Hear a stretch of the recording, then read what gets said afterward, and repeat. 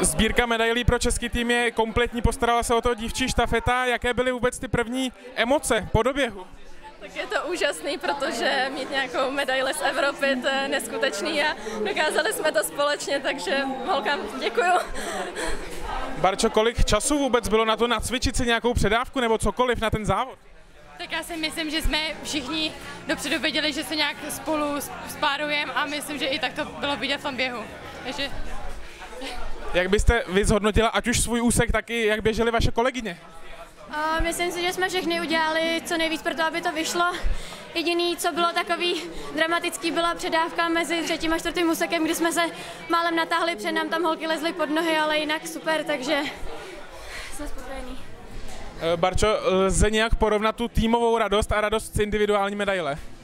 Tak já nevím, ono to je obojí, že vítězství skoro a tak nějak je euforie obojí, no. Jak veselá bude poslední noc tady v Děru? Myslím, myslím si, že to bude velký. určitě. Děkuji moc za rozhovor a obrovská gratulace všem.